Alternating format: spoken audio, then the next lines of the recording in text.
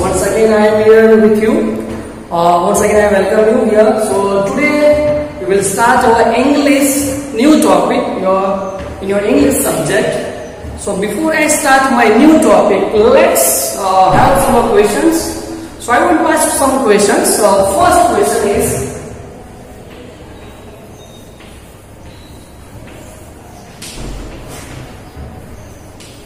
When do you cry? Second question is Why do you cry? And third question is How much do you cry? So, okay, students. Now, please, uh, here pay attention. When do you cry? First question is when do you cry? So, again, when do you cry? When your mother or father doesn't give you something, when you demand chocolates or when you demand any toys from them, and that time if they do not give you, I think that time you started for crying. Yeah, is it sure? And I think, yeah, it's sure that uh, when you demand something from your parents and when your parents do not accept your request and when they do not give you whatever you demanded from them, that time you, I think you cry. Second question is, why do you cry? Why do you cry? Same thing, why do you cry? Same answer here. Your parents do not give you something, whatever you want from them, and that time you cry. Because you want those things, whatever the things are accepted for you, whatever the things you want for playing or you want for eating, that is. Next, third question is, how much do you cry? It means, do you cry for a little or do you cry for a long time? And I know very well, some of the students, they cry for a little time, they cry for some time and some of the students, they cry for long time. Uh, tentatively, they cry for half an hour or so, or some of the students, they cry for 10 minutes. So dear students, uh, tell me what is the use, means of what is the purpose for crying? Do you cry for getting things, whatever you want from your parents? Or do you cry only just for sake of? Tell me. And I know very well, some of the students, they cry for getting the things, whatever the things they want from their parents. So dear students, here we will start our, our new poem. The poem is Crying. Okay students, so let's have a poem number 4, Crying in your English textbook of standard 3. So this poem is divided into total two stanzas. So we will do the stanza wise. So first stanza, here it is on the board. So let's have a reading of the poem, stanza wise. First line, crying only a little bit is no use. You must cry until your pillow is soaked. Then you can jump in the shower and splash, splash, splash. So dear student, here is the first stanza. I am reading the stanza again. Please listen to me carefully. Crying only a little bit is no use. You must cry until your pillow is soaked. Then you can jump in the shower and splash, splash, splash. So dear students, what what does the poet want to say in this first stanza? So what does the poet say? The poet says, if you cry, it means when you cry, so cry for a little bit is no use. It means crying for a little time is no use. There is no use of crying for a little time. And if you want to cry, you must cry until your pillow is soaked. It means you cry for a long time. You cry for a long time you must cry until your pillow is soaked. Now your pillow is soaked. Here the meaning of this word is you can say completely wet. You can say completely wet. Now your wet means completely wet with water. Now water. So when you cry that time the tears will come from your eyes. So you must cry until your pillow is short. It means completely and most of the students, most of the little boys and girls, when they cry, so they take a pillow in their hands and they sleep on pillow and they started for crying. So you must cry until your pillow is soft. That is the thing. Next, then you can jump in the shower and splash, splash, splash. It means when the pillow is full of water. Full of water, it when you cry, the tears will come out from your eyes. So that time your pillow will be completely wet with your tears.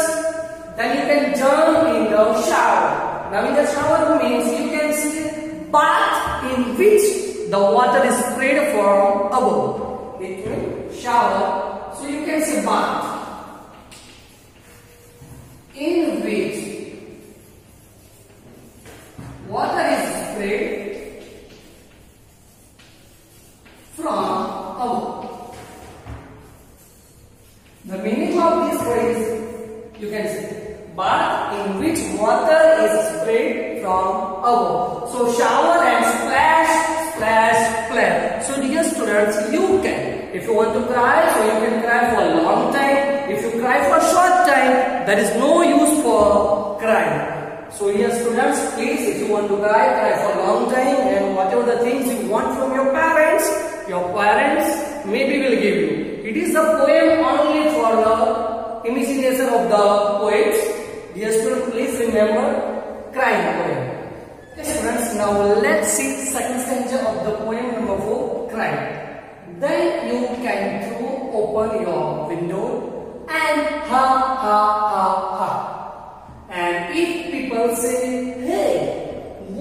going on up there? Ha ha, sing back. Happiness was hiding in the last tears. I wept it, ha ha. So dear students, this is the second stanza of the poem number 4, Crying. Let's read again. That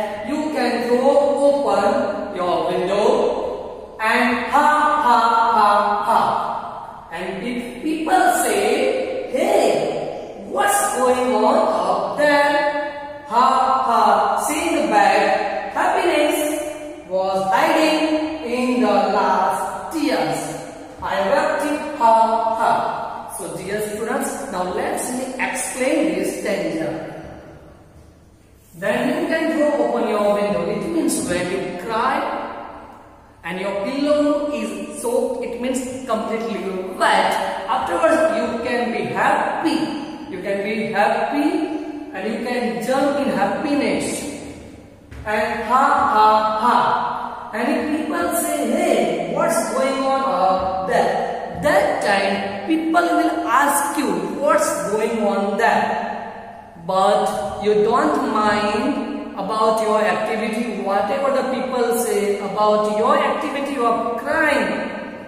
Don't worry, you will say, ha ha, sing back, happiness was hiding in the last tears. I wept it, ha ha. So you say that my happiness was lying in the last drop of tears. I wept it, ha ha. So your wept, the meaning of wept is cry. C-R-I-E-D. Cry. Your wept, it is a past form of weep. Weep, wept. So dear student, this is the poem, poem number 4, cry.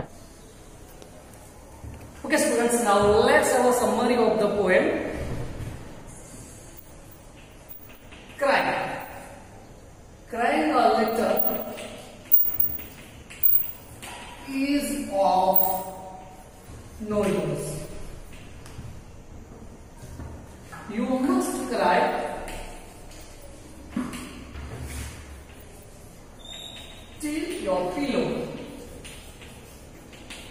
till your pillow is completely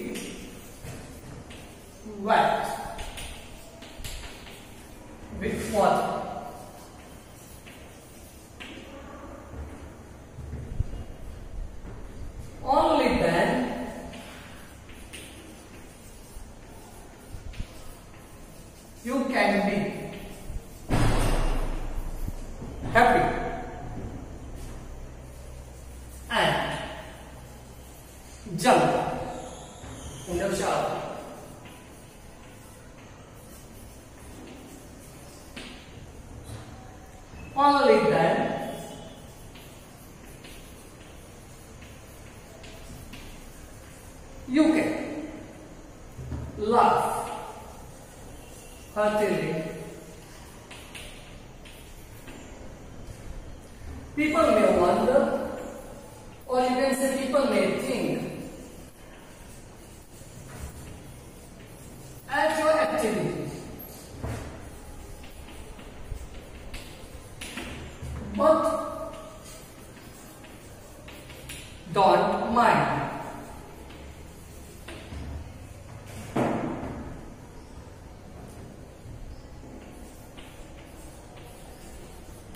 Tell them.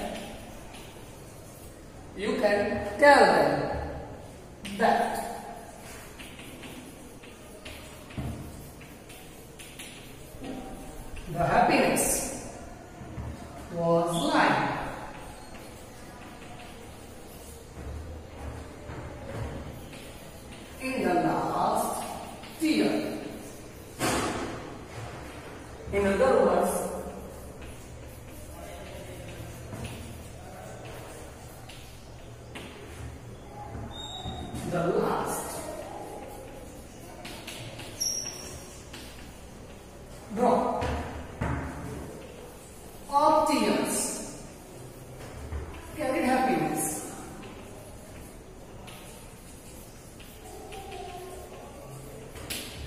dear students, this is the summary of uh, chapter uh, poem number 4, crying.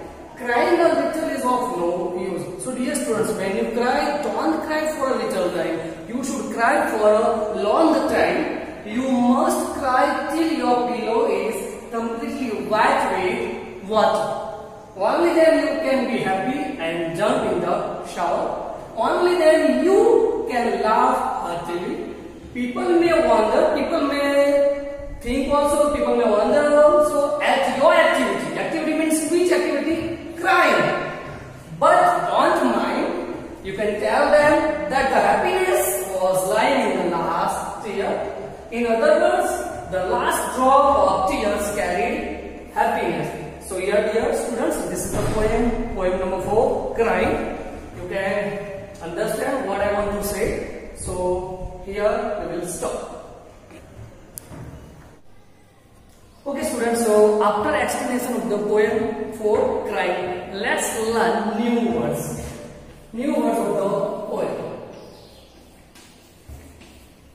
First word is S O H A A D. So it means completely wet.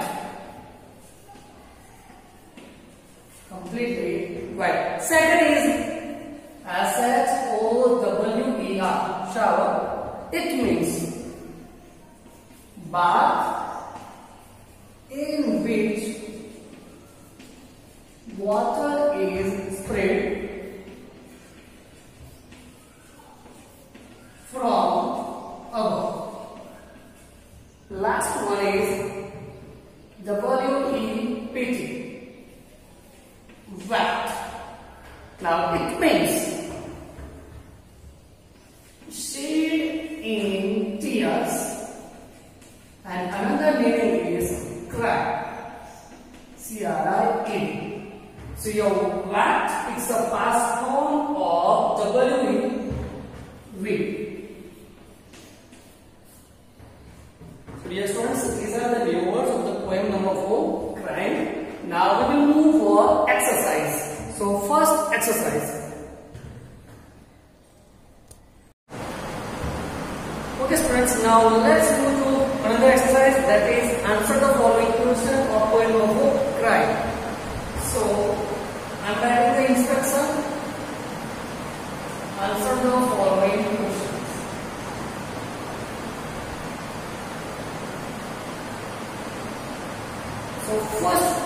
is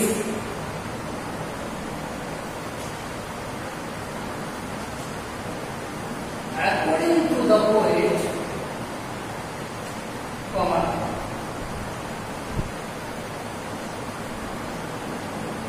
should you cry a little or should you cry?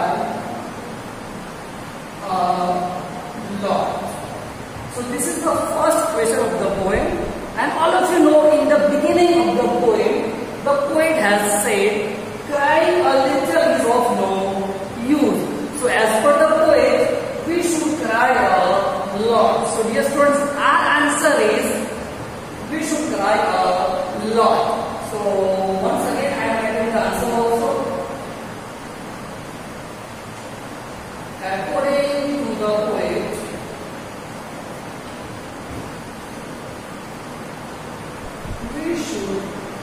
cry a lot. Please remember, according to the poet, should cry a little or should cry a lot. According to the poet, we should cry a lot. Second question. What can you do after crying a lot? Second question is What can you do after crying a lot? So that is a question. Now this question, the answer for this question it may be vary, it may be different. You can write in another ways also as you like. So what can you do after crying a lot? So as the poet has said, so we can write answer for this question. We can go. We can go to cinema.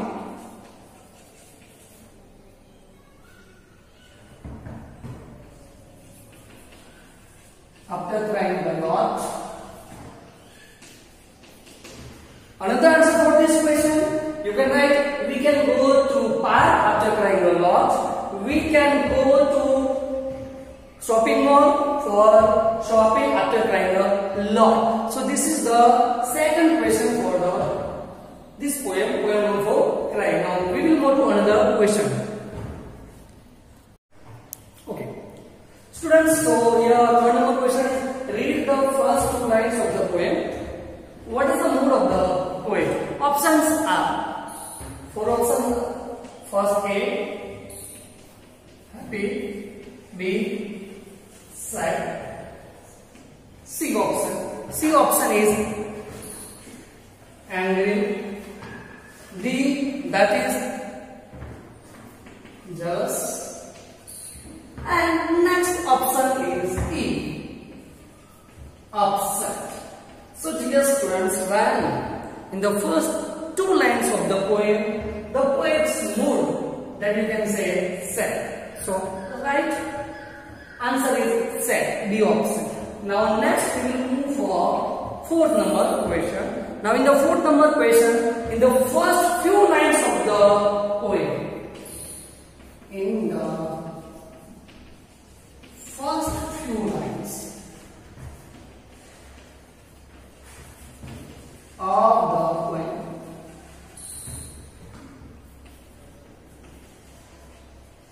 The mood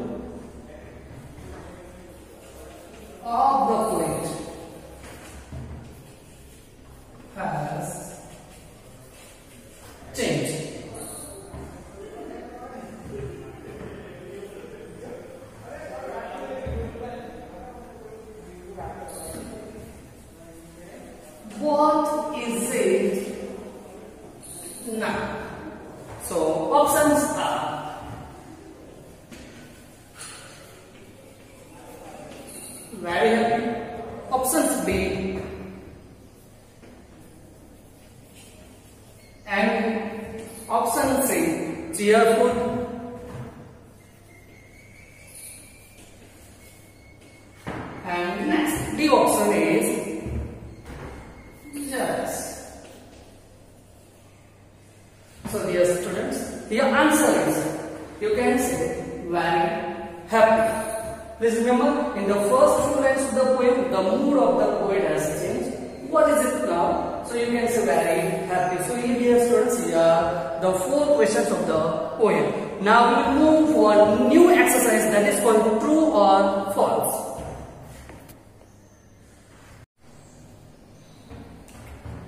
So dear students, now we will move to next exercise that is true or false. So after the explanation of the poem and question answer, first true or false, the poet says you must not cry much. So that is in the very first line of the poem, the poet has said, crying little is of no much, you must cry until your pillow is soaked. so. Second, the poet says you should cry until your pillow is so. That is, you can say correct. It means true. So once again, please remember in the first beginning, in the very first beginning of the lines, the poet says crying the little is of no use. You must cry until your pillow is so. It means completely match. Next, the poet says that after crying you should open the window and laugh the very first stanza of the poem, the poet has said that you can go and open the window and sing and you can say ha ha ha. So it means ha ha ha. It means you can say happy. So same here the poet says that after crying you should open the window and laugh so that people will see that you are happy. Next the, the poet says that you should open the window and show people that you are crying. No, that is false. So dear student, here the poem number 4 crying explanation with question answer and true or false. Okay, now this is the first part of the poem. Now next video you will get the second part of this poem with another exercise. Along with this poem, you will get one worksheet and that worksheet you need to copy in your English notebook. Thank you.